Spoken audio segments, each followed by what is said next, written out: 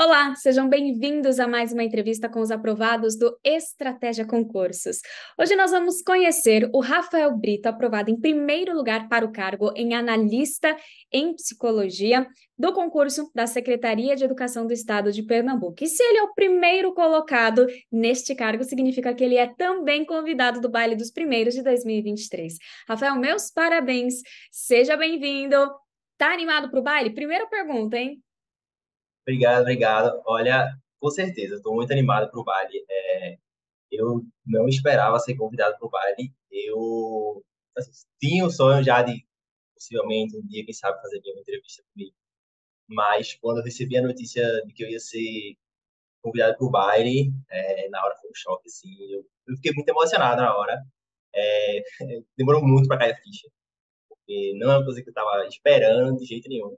E eu já tinha visto como é que era o baile, tipo, puxa, que legal, né? É, mas não sei se será coisa para mim, não. Mas quando eu recebi o convite, falei, caramba, é, que sonho. É um sonho que para mim não estava no alcance, mas, puxa, que massa que eu que consegui ser convidado. E eu estou muito feliz pelo convite. É, tenho certeza que vai ser muito legal. Eu já procurei é, no YouTube muitos vídeos sobre é, como é que é o baile. E, assim, só dá mais ansiedade, uhum. mais atenção, porque a gente vê todo mundo feliz, todo mundo muito animado, falando também um pouco da sua trajetória, tirar esse tempo dentro do baile para curtir, conversar, conhecer novas pessoas, é, é uma sensação muito boa. Acho que desde a época que eu recebi, acho que foi fim de outubro, assim, tô contando os dias, assim, cara, eu quero que chegue logo 3 de dezembro, porque quero estar tá lá, conhecer todo mundo, é, aproveitar esse baile o máximo que der. É isso. É,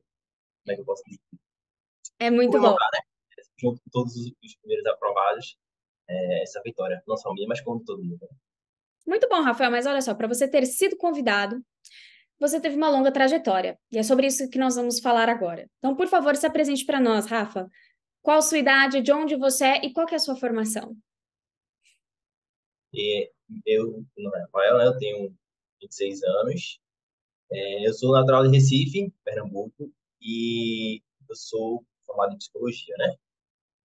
Certo. E você passou, né, na sua especialidade. Como que começou a sua trajetória no mundo dos concursos públicos, né? Você já atuava na sua área, parou e falou: "Ah, quero seguir concursos públicos". Conta pra gente o início de toda essa trajetória e dessa decisão. Bom, o início ele vem na área de trás, na verdade. Eu antes mesmo de visitar pensar em fazer. É, minha família toda é, é servidor Meus pais são servidores, meus tios, meus avós. Então, sempre teve, ao longo da minha vida, esse, esse incentivo. Ah, público e tal. E aí, acho que desde meu ensino médio, eu fazia aqui um concurso outro, e concurso militar, que tem né, na idade de nível médio.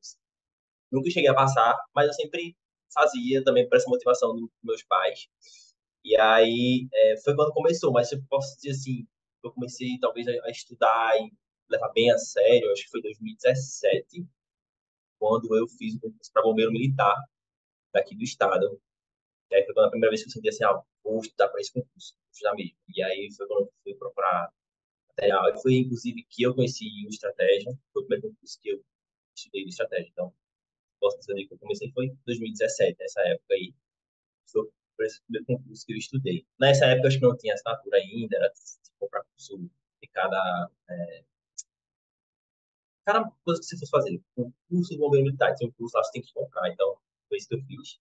É, naquela época, assim, eu não sabia nem, nem como fazia, método de estudo, absolutamente nada. Então, eu é, fiz um estudo muito solto, assim, assistia vídeo aula, é, eu usava PDF, enfim. E foi uma coisa muito proposital, né? Eu não, não, não tinha em mente fazer isso. No começo, acho que eu não sabia, eu falei, ah, vou fazer, é uma oportunidade e tal, já entrar no Então, foi, foi tudo muito corrido, assim. E foi minha primeira aprovação, verdade. É, eu consegui passar. É, e passar para a segunda fase, né? Porque tem questão de TAF e tal. Só que no meio, acho que entre a prova e o TAF, eu rompi o tendão do meu pé, então não pude fazer TAF. E aí, hum, depois disso, parei de fazer concurso, acho que desse ano 2017, 2018, acho que só lá para 2019 eu voltei a fazer concurso, concurso da prefeitura aqui perto, nível médio. Passei também nesse concurso nível médio só que demorou muito para ser chamado, também teve pandemia nesse meu tempo. Acho que 2020 também eu fiz concurso, acho que do CREMEP, Conselho Regional de Medicina daqui, para assistente administrativo, fiquei em cadastro reserva. É, depois disso, 2019, 2020, acho que eu, aí eu dei uma paradinha quando eu fiz esse concurso do CREMEP, que era 2020. E aí foi quando eu em 2021. Foi meio de 2021. Voltei especificamente para o concurso do Brasil. Isso acho que foi meio de junho, assim. E aí, meu irmão também estava estudando para concurso já. E aí, a gente tá brincando, ah, bora estudar. Bora, a gente vai. Vai, eu, vamos, bora. A gente pegou e começou a estudar. A gente, eu já conhecia o estratégia, então a gente, vamos juntos, a gente estuda por estratégia e vê o que, é que dá, né? E aí, acho que foi quando eu entrei realmente no estudo, naquele estudo mais programado, certinho, porque nesse concurso do Banco do Brasil também foi um, estudo mais pós-edital. Eu já peguei, eu fiz a assinatura premium, estratégia, e aí é, eu já usei muita trilha. Como eu não sabia como estudar, não, não, não fazia essa organização de ciclo de estudo, dar uma matéria por vez, cada hora, não tem nada disso organizado. Então, eu peguei e fui seguir na trilha. Já vou olhar, porque a trilha estiver dando, dizendo para fazer, eu faço. E aí, nesse ano de 2021, esse concurso do Banco do Brasil foi mais ou menos assim. Depois do Banco do Brasil, eu acho que eu fui fazer curso de IBAMA aqui se for possível aqui, acho que foi 2022, janeiro de 2022, uma coisa assim. Aí fiquei estudando um pouquinho pré-edital, coisa de 15 dias a um mês, e aí depois saiu o concurso, fiz o concurso de IBAMA, passei no cadastro reserva, acho que foi sexto lugar, uma coisa assim, três vagas, agora quatro, em sexto, e aí depois desse concurso fiz, acho que foi o curso da Federal daqui, para psicologia já estava terminando a minha faculdade, e aí eu já podia fazer mais concursos da minha área, porque eu sabia que acho que ia demorar um pouquinho para chamar, eu ia conseguir terminar a minha faculdade. E aí eu fiz da Federal, acho que em março, abril, mais ou menos isso. Fiz psicologia, para reserva também. É, depois desse, acho que eu fiz Cefaz aqui, em Pernambuco, teve para assistente analista, meu irmão fez, fiz também. Ele conseguiu passar, não consegui, fiquei um pouco distante da, da nota. É, acho que depois da Fazenda, eu acho que foi esse que eu estudei para a Secretaria de Educação. Acho que saiu mais ou menos em setembro. Eu estava estudando para da Secretaria de Educação. Depois da Secretaria de Educação, que a prova foi mais ou menos outubro, novembro, aí eu fui começar a estudar para residência. Eu passei tanto na Secretaria de Educação, né, como passei na residência também. Só que a Secretaria de Educação demorou para chamar. Aí eu fui primeiro da residência, e aí no meio da residência que eu fui chamado para ir para a Secretaria de Educação. Então, sair da residência e ir para a Secretaria de Educação. Isso aí foi agora, no agosto, agora em agosto. Estou na Secretaria de Educação, né, que foi esse passei agora. E acho que ainda fiz outro concurso, foi em setembro, o, acho que o último. Rafa, você tem uma trajetória longa, como você falou, desde 2017, diversos concursos, né, que você prestou. E eu queria entender quais as ferramentas do estratégia que você mais utilizava e sobre o seu ciclo de estudos também, né, para você ter esse êxodo, você teve uma estratégia. Então, quais eram as ferramentas e como que você se organizava no seu dia a dia em relação a horas líquidas? Uma matéria por dia você estudava, eram duas, enfim, conta pra gente.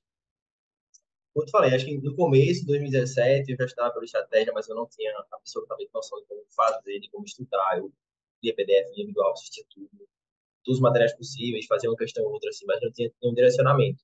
Acho que o grande diferencial foi em 2021, quando eu aprendi e conheci a trilha. E aí foi quando eu aprendi a fazer ciclos de estudo. E eles fazem ciclos matéria por matéria, e aí e ensinam você a estudar basicamente por PDF, que era uma coisa que também não tinha conhecimento da aula, PDF, enfim. Vídeo aula demorava muito. Então eu comecei a perceber que os benefícios de PDF era muito melhor. Porque assim, o PDF ele é muito enxuto comparado à, à aula. E ele é muito completo. Por mais que ele às vezes seja tudo simplificado, mas ele dá um, pega um panorama geral assim, de todos os assuntos da, da matéria. E, e, acho que foi isso que me ajudou. Essa questão da, da trilha do Banco do Brasil foi que serviu como referência para daqui para frente, para montar meu ciclo de estudo. Fazer para esse concurso de Secretaria de Educação, eu fazia um ciclo de estudos que tinha não eram muitas matérias, acho que era português, direito constitucional, administrativo, nem sei se tinha informática, não lembro se tinha informática, sociológico, é, mas tinha parte de psicologia também. E aí, é, eu, eu meio que intercalava, fazia, estava português, direito constitucional, psicologia, direito administrativo, não sei se tem mais alguma matéria, né? quatro, cinco matérias. E tava fazendo esse ciclo. Aí no dia a dia, como é que funcionava? Eu trabalhava, é, e aí eram 30 horas. Basicamente, eu trabalhava três dias, 10 horas, segunda, quarta, sexta. Então, nesses três dias, eu não conseguia estudar muito. Então, sei lá, eu estudava acho que duas horas à noite, os três. Das cinco matérias que eu tinha, eu pegava duas. Dava duas. E aí, no outro dia, que eu não trabalhava, aí eu conseguia fazer cinco, seis horas líquidas. Então, eu conseguia pegar todo esse ciclo que eu tinha feito de cinco, seis disciplinas. É, e eu sempre fazia isso. Mesmo que eu só estudasse duas disciplinas na segunda-feira, na terça-feira eu já revisava a matéria anteriormente, e aí já ia para essas outras três disciplinas que eu não peguei, e aí voltava para o começo, e, e assim foi. Como foi assim, acho que comecei a trabalhar no fim de maio, junho, fiquei até fim do ano, começo desse ano também, é, nesse ciclo, assim, sempre de acordo com o que eu estava estudando, e montando o ciclo de acordo com essas matérias, que é matérias que tinha no edital, e ia fazendo. Uma hora, era, eu dividi uma hora de estudo, 10 minutos de descanso, uma hora de estudo, 10 minutos de descanso. E aí ia de acordo com a sequência da matéria que estava lá no ciclo, mesmo que não fosse todas as matérias todos os dias, porque eu realmente não tinha condições né, eu trabalhava muito. Rafa, excelente, muito bom. E olha só, você passou em um concurso específico de psicologia, que são poucas vagas. Né? Gostaria que você falasse até mesmo para as pessoas que têm interesse em conquistar uma vaga em uma área específica, pode ser em psicologia. Como que você enxerga o mercado de concursos públicos para a sua área e o que, que você acha importante da pessoa se atentar e estudar para conseguir essa uma ou duas vagas, né? Porque geralmente é assim que vem os concursos aí de áreas específicas, né? O que, que você fez que você acha bacana de compartilhar relacionado à galera aí da área específica de psicologia? É, como você mesmo falou, assim, é, em psicologia a gente tem muita restrição de vaga. Acho que esse concurso foi uma grande exceção. Quando abriu, acho que tinha 38, 39 vagas. Então, assim, caramba, concurso toda vaga tem que fazer. A gente vai conseguir, né? Porque geralmente abrir um curso, esse que eu fiz da Federal, acho que tinha uma vaga, era uma vaga cadastro reserva. Acho que tem outro concurso que eu fiz também, Ministério Público, que era só cadastro reserva da Paraíba. Fiz, era cadastro reserva só. Então, era muito complicado, porque a gente também tinha um, quantidade de vaga muito pequena. E assim, quando eu comecei a estudar para psicologia, eu acho que eu nem sei se estratégia também tinha tantos materiais assim de psicologia. E aí, no mercado também nunca teve tanto material de cursinhos para a área da psicologia, então sempre foi muito difícil. Mas o que me ajudou na Secretaria de Educação é porque nas outras, é, nos outros cursos, geralmente o que cai é português e psicologia. Só que nesse curso específico, a gente, eles têm também direito a como eu já tinha estudado para outros concursos e direito constitucional administrativo também estava dentro, praticamente já tinha fechado o edital de direito constitucional administrativo, tinha feito muita questão, revisado, enfim. Então isso tinha me ajudado muito. E o diferencial também é que de psicologia eu fui pegando materiais por fora, consegui achar outros cursos assim que tinha alguma coisa e foi o que deu, assim, não me sentia muito seguro essa parte de psicologia porque os materiais não, não eram tão bons assim, eram muito rasos mas eu tentei estudar por fora, pegar livros que conhecia, de matérias específicas que tem relacionadas à psicologia, teoria da personalidade, psicopatologia, a gente tinha que ir fazendo isso. E acho que quando a gente não tem muitos recursos de material, na época não tinha, mas hoje em dia ainda tem, eu estudava muito questão. Se eu, só, se eu sabia que a, tem SEBRASP, acho que vai ser a banca da Secretaria de Educação.